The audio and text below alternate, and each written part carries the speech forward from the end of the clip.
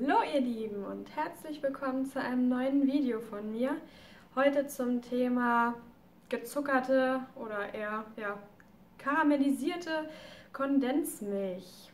Ich habe vor wenigen Monaten zufällig ein Video gefunden bei YouTube, ähm, wo jemand Milchmädchen, also diese gezuckerte Kondensmilch, ähm, karamellisiert hat. Einfach im Kochtopf.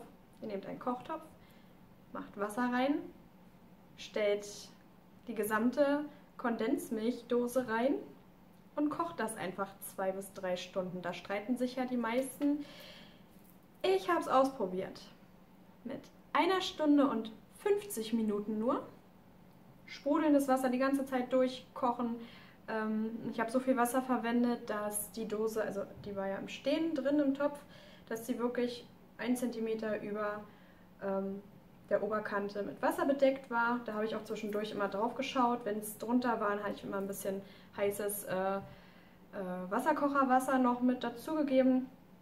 Hat wunderbar funktioniert. Ich dachte, es klappt einfach nicht, aber ich dachte, gut, ich möchte eine Torte machen, eine Überraschungstorte. Das seht ihr auch in anderen Videos äh, von mir. Und da habe ich das einfach ausprobiert. Und ja, mache die Dose auf.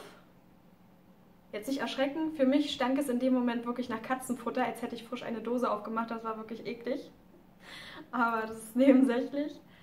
Ähm, ja, ich rührte dann alles durch, merkte dann, dass die Farbgebung, ähm, ja, also es waren helle und dunklere Stellen. Also ich denke, dass sich der Zucker einfach unten abgesetzt hatte und aufgrund dessen, ähm, ihr seht jetzt gleich auch nochmal ein Foto oder mehrere Fotos davon.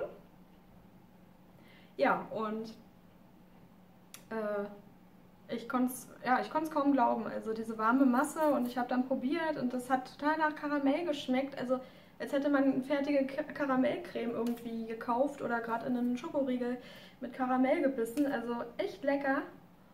Und ja, ich habe den Versuch gewagt und konnte dann auch meine Karamelltorte ähm, herstellen. Also ich habe dann Biskuitboden ganz normal gebacken die sind dann in der Mitte durchgeteilt und dann eine Schicht, ähm, ja, etwa 0,7 cm dick äh, mit dieser Karamellcreme pur bestrichen.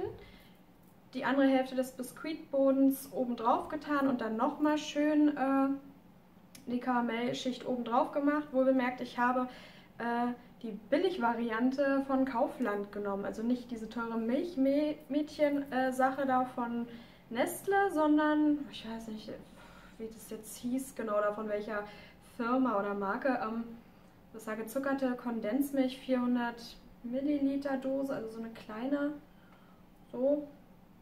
Ähm, ich glaube für 1,20, 1,29, also wirklich günstig.